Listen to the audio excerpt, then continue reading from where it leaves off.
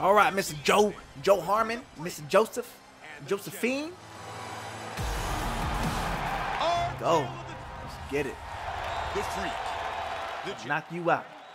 Go ahead, come at me with some boxing stuff. Title fight scheduled for five five-minute rounds. Black trunks for the Uppercut.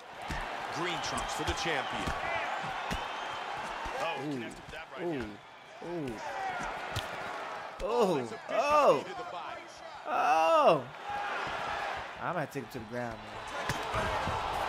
It's ridiculous. I have to take him. Oh, huge suplex. Come up. Soften him up. and has been perfect. He's Soften him up. Exactly what he wanted to do inside the octagon tonight. Soften him up. Avoiding his opponents. Hip escape. Gets out of the full mount.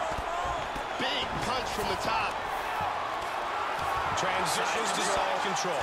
Go. Great use of the Soften up that head, man. That's how you get easy TKOs, man. Easy KOs, right here. I'll show y'all. Easy KO. good elbow to the head. Oh, I didn't know it was gonna be that easy. I didn't know it was gonna be that easy. That's too easy. Too easy. The KO cheese is too easy. The Hulk cheese is too easy. TKO victory. He wasn't ready for that. round.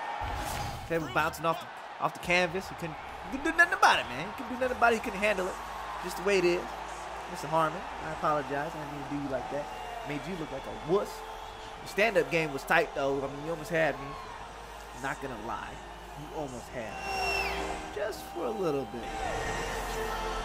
All right, down goes Pettis. Pettis went down. Performance of the night with the KO. No big deal. Doing our thing. Let's move on.